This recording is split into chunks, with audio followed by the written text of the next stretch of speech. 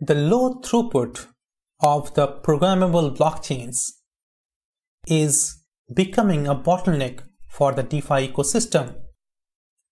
Two platforms, Polygon and Avalanche, are trying to solve this problem. Now, Matic is the native token of Polygon and AVAX is the native token of Avalanche.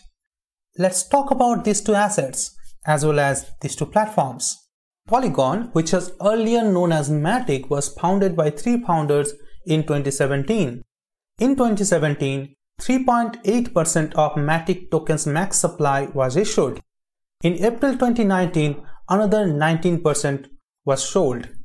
Now coming to Avalanche platform, it is managed by Ava Labs which was founded in 2018 and the AVAX tokens were launched in September 2020.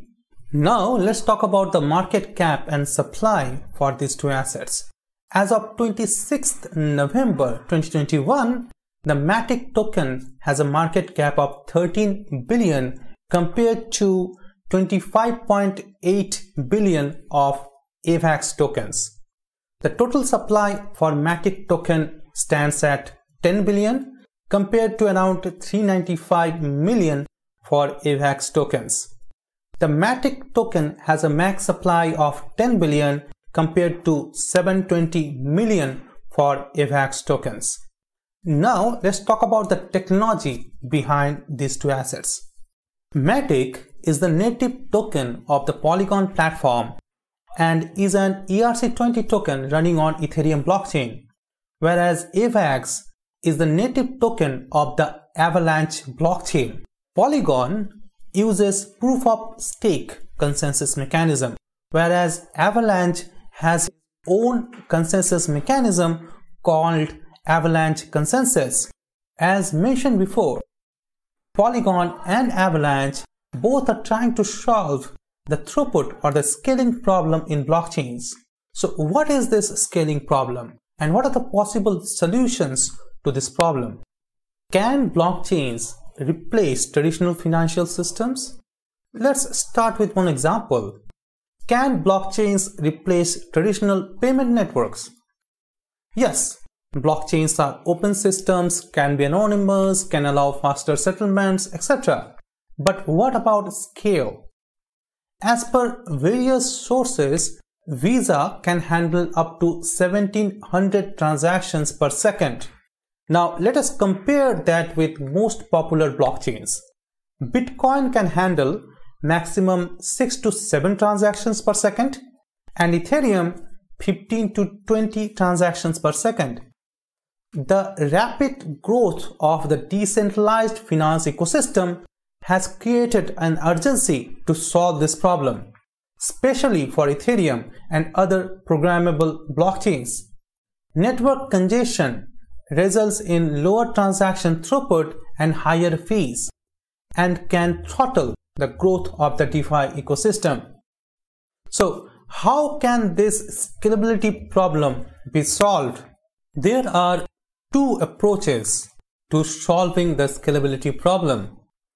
Let us understand this with an example of an automobile assembly line. Say an assembly line can produce 10 automobiles in one hour. Now the company wants to scale up the production to 50 automobiles per hour. What are the options? Option 1. Upgrade the current assembly line with faster machines to increase the assembly speed. Option 2. Offload some of the assembly tasks to smaller assembly lines which work in tandem of the main line. These assembly lines, the smaller assembly lines, can take care of some of the tasks such as engine transmission assembly or wheel assembly and make the main line faster. The first approach in the context of blockchain scaling would be called layer 1 scaling and the second approach would be called layer 2 scaling. Layer 1 means the main blockchain network itself.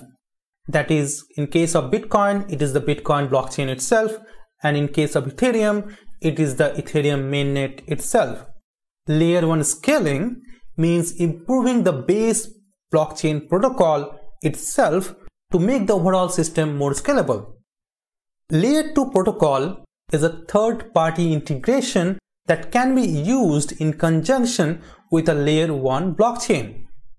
Layer 2 scaling entails shifting a portion of the blockchain protocol's computational burden to another system architecture, which then handles a major part of the network's processing and only subsequently reports back the main blockchain to finalize the results. Now let us quickly review some layer 1 and layer 2 scaling solutions before we talk about Polygon and Avalanche. Some layer 1 scaling solutions are improvements in the consensus protocol of the blockchain and sharding. Many major blockchains, including Ethereum, are still using proof of work consensus protocol, which is slow and inefficient. Ethereum 2.0 is moving to proof of stake consensus, which is expected to help scale the Ethereum blockchain.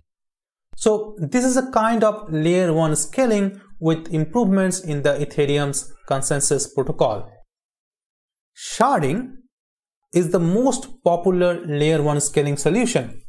What happens is, instead of making a network sequentially work on each and every transaction, sharding breaks down this transactional database into smaller databases and the network then processes these smaller databases parallelly, making the processing faster.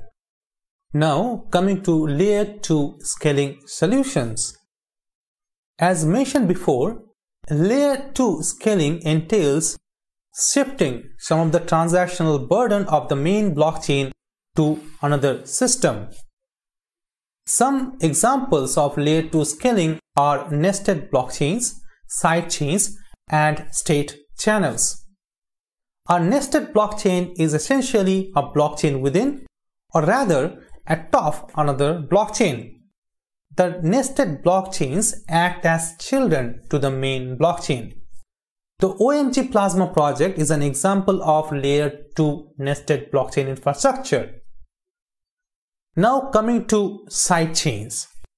A sidechain is a separate blockchain which runs in parallel to the main blockchain and operates independently. It has its own consensus algorithm and it is connected to mainnet by a two-way bridge. This sophisticated cryptographic mechanism enables tokens and other digital assets move back and forth freely between the main chain and the side chains. The liquid network on Bitcoin blockchain is an example of a sidechain. Now coming to state channels. A state channel is a second layer scaling solution that reduces the total number of on-chain transactions by moving some of the transactions off-chain. What it does is it allows the participants to transact more number of times off-chain while only submitting two on-chain transactions. Now we understand layer 1 and layer 2 scaling solutions. So let's talk about Polygon. Polygon is a protocol and a framework for building and connecting Ethereum sidechains. As mentioned before, a sidechain is a separate blockchain which runs in parallel to the main blockchain and operates independently. It has its own consensus algorithm and it is connected to the main net by a two-way bridge. Polygon was launched as Matic sidechain which uses proof of stake consensus mechanism. Now the sidechains created by Polygon protocol can benefit from the Matic validator network. Polygon offers two types of chains, standalone chains and secured chains. Polygon claims of up to 65,000 transactions per second on a single sidechain, along with a respectable block confirmation time of less than 2 seconds. Polygon is already handling more than 7.4 million transactions per day or around 86 transactions per second. The transaction cost on Polygon is around 0.05% of the Ethereum blockchain. Now, Matic is the native token of Polygon and is an ERC20 fungible token running on the Ethereum blockchain. The tokens are used for payment services on Polygon and as a settlement currency between users who operate within the Polygon ecosystem. The transaction fee on Polygon sidechains are also paid in Matic tokens. As mentioned before, the Matic sidechain uses proof of stake consensus. So the Matic token holders can earn excess returns by staking Matic tokens and becoming validators. Now coming to Avalanche. Avalanche is a layer 1 blockchain that functions as a platform for decentralized applications and also for custom blockchain networks. While Polygon is, strengthening the Ethereum blockchain by allowing higher transaction throughput and lower fee, Avalanche is a rival to Ethereum and wants to replace Ethereum as the primary network for DeFi protocols. Avalanche allows building fast and low-cost dApps and also deployment of blockchains, both private and public. Avalanche claims to be able to handle a transaction throughput of up to 6,500 transactions per second while not compromising scalability. This is achieved through Avalanche's unique architecture. The primary network of Avalanche has three subchains the exchange chain, the platform chain, and the contract chain. Each subchain has a specific purpose. As of 26th November 2021, Avalanche is processing 700,000 transactions per day or around 8 transactions per second. The all-time high transaction per second has been 869 and Avalanche has more than 905,000 unique addresses. Avalanche transaction fee is considerably lower than Ethereum, but recently touched 10 US dollars with rapid increase in the platform use. Now coming to AVAX. AVAX is the native token of the Avalanche network and is mainly used for consensus mechanism and for paying network fees. Now let's compare the trends for these two tokens, Matic and AVAX. Let's start with market cap trends. We can see here a rapid rise in AVAX token market cap, especially after end of July. Whereas the growth of market cap for Matic has been subdued comparatively. Now, if we compare the 24 hour trading volume for these two tokens, we see that the Matic token trading has been really high during middle of 2021, especially between May and July, but then kind of died out. Whereas the trading for AVAX picked up after end of July. Now let's compare the price trends for these two tokens. We can see here that the Matic price trend has been positive throughout the year for 2021 whereas for AVAX the price trend has been subdued in the beginning of the year but then picked up after end of July. Now let's compare the trends in returns for these two assets. For both these assets, the year 2021 started in a negative trend in rolling 30-day returns. For Matic, the year started with slightly negative trend and the negative trend became severe after end of April and then again it, the trend became positive after end of July. For AVAX, the year started with severe negative trend in 30-day returns and the negative trend continued till around June and then improved after that. Now coming to trends in rolling 90 day returns.